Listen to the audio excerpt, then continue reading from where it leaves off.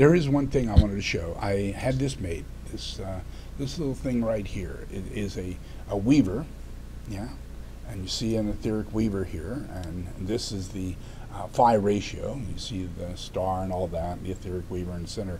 This is a very powerful uh, influence. Yeah, the uh, energy that is natural in its geomancy is an applied geomancy. So uh, it basically helps to harmonize.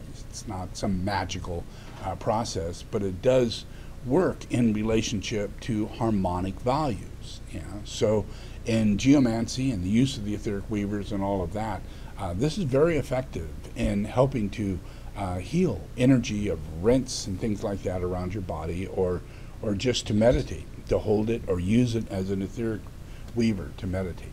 Yeah. So that's a new thing, and just to show it to you because I haven't really showed it before.